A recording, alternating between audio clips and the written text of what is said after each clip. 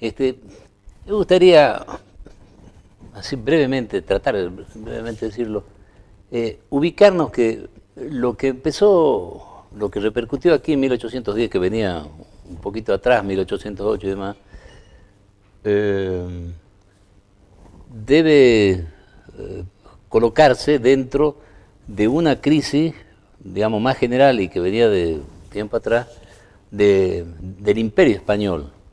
Porque en ese momento estaba cambiando la configuración del poder político en Europa, que era el mundo, el centro del mundo, y que se estaba desplazando, digamos, del eh, poder del imperio español hacia otra potencia, digamos, que estaba emergiendo, que era este, Gran Bretaña. Entonces era un traslado de la influencia, el predominio del, Pacífico como escenario comercial eh, más importante hacia el Atlántico. Eso tiene que ver.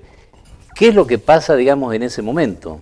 Eh, en ese momento, eh, América se calcula que tenía 16 millones de habitantes, toda la América española de los cuales eh, 6 millones eran los que se llaman ahora pueblos originarios, después había otros otros grupos importantes, castas y demás, eh, y el pequeño núcleo, digamos, de españoles nativos, eh, digamos, representaba un porcentaje bastante menor.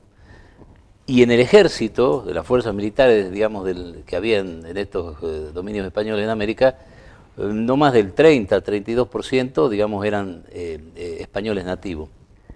Eh, ¿Cómo se ubica Salta en eso? Salta tiene un, papel importante porque está casi a mitad de camino entre los dos ejes más importantes que eran, por una parte Lima, el puerto del Callao, que concentraba, tenía la exclusiva del comercio con España, y el Río de la Plata, Buenos Aires, donde había una actividad comercial ilícita, no, estaba no, había una apertura comercial, eso empieza a darse a partir de 1770 y tanto. Cuando se crea el Virreinato del Río de la Plata, el régimen español empieza un poco a, aflojar, digamos, la, cuestión del monopolio.